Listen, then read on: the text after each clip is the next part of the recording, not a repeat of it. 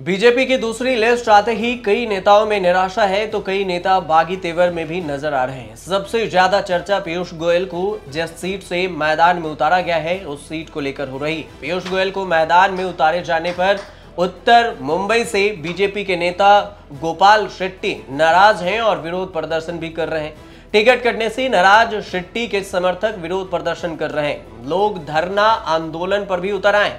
शेट्टी ने कहा है कि कार्यकर्ताओं ने क्षेत्र में मेहनत की है, शानदार काम कर चुनाव जीता था और उन्हें झटका लगना स्वाभाविक है। मुंबई में उत्तर मुंबई से गोपाल शेट्टी और उत्तर पूर्व मुंबई से मनोज कोटक का टिकट काटकर भारी नाराज़गी देखने को मिल रही है। बीजेपी ने शेट्टी की जगह पर पीयूष गोयल को टिकट देने पर लोगों ने उन्हें पैराशूट कैंडिडेट बताया। दूसरी ओर, मनोज कोटक का टिकट काटने पर आश्चर्य व्यक्त किया जा रहा है। पिछले लोकसभा चुनाव में बीजेपी ने शिवसेना के साथ मिलकर चुनाव लड़ा था। उत्तर मुंबई से गोपाल शेट्टी और उत्तर मध्य मुंबई से पूजन महाजन और उत्तर पूर्व से मनोज कोटक को उम्मीदवार बनाया गया था। तीनों ही उम्मीदवारों ने अपने विरोधियों को भारी मतों और भारी अंतर से हराया भी था।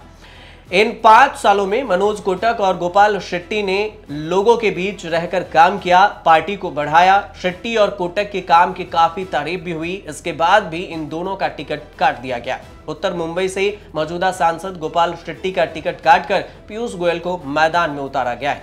उम्मीदवारों की दूसरी लिस्ट में बीजेपी ने महाराष्ट्र की 20 लोकसभा सीटों के लिए उम्मीदवारों के नाम का ऐलान किया, जिसमें पीयूष गोयल भी शामिल हैं। पिछले चुनाव की अगर बात करें तो महाराष्ट्र में सबसे बड़ी जीत उत्तर मुंबई सीट पर ही दर्ज की गई थी। उत्तर मुंबई लोकसभा सीट पर बीजेपी के गोपाल शेट्टी ने कांग्रेस उम्मीदवार उर्मिला मातोंडकर को चार लाख पैंसठ हज़ार दो सौ सैतालीस वोटों से शिकस्त दी थी। राज्य में सबसे ज़्यादा अंतर से जीतने वाले गोपाल शेट्टी थे यही कारण है कि उत्तर मुंबई सीट बीजेपी के लिए सबसे ज़्यादा सुरक्षित मानी जाती रही है।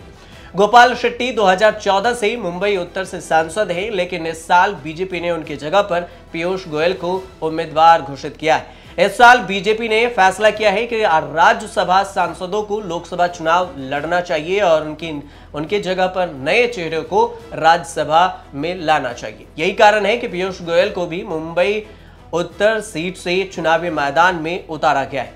अब सवाल ये कि राज्यसभा में सदन के नेता पीयूष गोयल को मुंबई नॉर्थ लोकसभा सीट से टिकट तो दे दिया गया, लेकिन 35 साल बाद चुनाव लड़वाकर पीयूष गोयल को लोकसभा में नरेंद्र मोदी क्यों लाना चाहते हैं?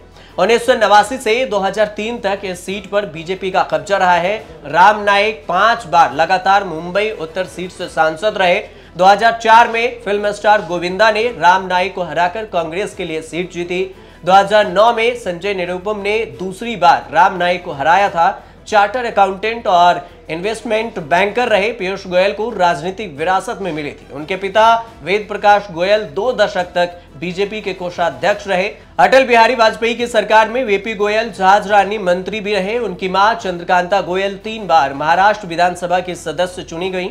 और उसके बाद पीयूष गोयल 90 के दशक में ही बीजेपी संगठन से जुड़ गए। 2010 में पहली बार महाराष्ट्र से राज्यसभा जाने का मौका मिला। बीजेपी ने उन्हें तीन बार लगातार राज्यसभा भेजा। पीयूष गोयल पीएम नरेंद्र मोदी के करीबी भी माने जाते हैं। 2014 में जब मोदी सरकार के पहली कार्यकाल के दौरान वह कोयला मंत्री बनाए गए थे और 2017 में सुरेश प्रभु के इस्तीफे के बाद रेल मंत्रालय को भी उन्होंने संभाला। 2019 में नरेंद्र मोदी की दूसरी सरकार में वाणिज्य और उद्योग मंत्री बनाए गए। पार्टी ने उन्हें राज्यसभा में पार्टी का नेता नियुक्त किया।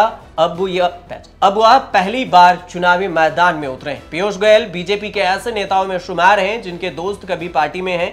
और सभी, ज़्यादातर दोस्त इनके पार्टी में हैं बीजेपी से और राज्यसभा में कई महत्वपूर्ण बिल को भी पास कराने में उन्होंने बड़ी भूमिका निभाई है। इसके अलावा पीयूष गोयल खुद पीएम मोदी के प्रचार तंत्र को संभालते रहे। 2014 के चुनाव के दौरान पीयूष गोयल ने नमो टी कैंपेन के ज़रिए पीएम मोदी को जन जन तक पहुँचा दिया था। रामविलास पासवान के निधन के बाद उन्हें खाद्य आपूर्ति और नागरिक उपभोक्ता मामले का जिम्मा भी दिया गया।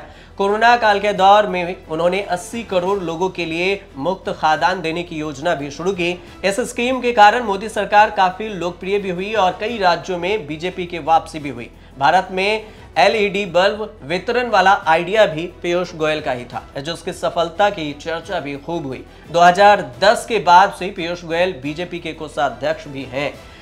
और इस सब के बीच में पीयूष गोयल को टिकट दिए जाने को लेकर नॉर्थ मुंबई सीट पर काफ़ी बवाल भी मचा हुआ है। आप देखते रहिए